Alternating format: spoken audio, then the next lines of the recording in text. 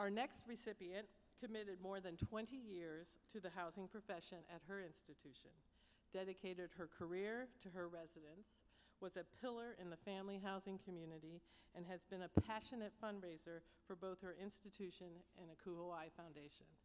This recipient changed the culture of family and graduate housing on her campus and was endeared by her residents, and she knew their names and all the names of their extended families as well.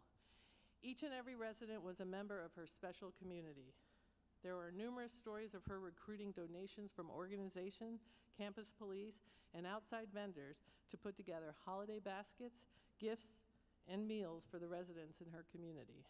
As a fundraiser for her department, she spent countless hours in the campus library going through old newspapers and yearbooks to identify former students with a connection to campus housing creating a list of over 5,000 alumni, and she was the driving force behind the development of her campus's residential college endowment.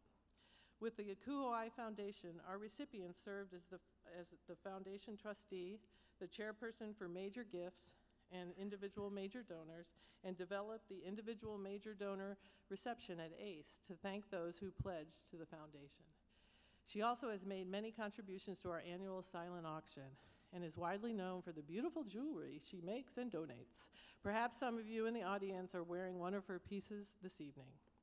A quote used by this recipient often is Real success is finding your life work in the work that you love. May we all find the success and love of our work that she has. Please join me in congratulating Lori Patterson, Louisiana State University, as a Parthenon recipient.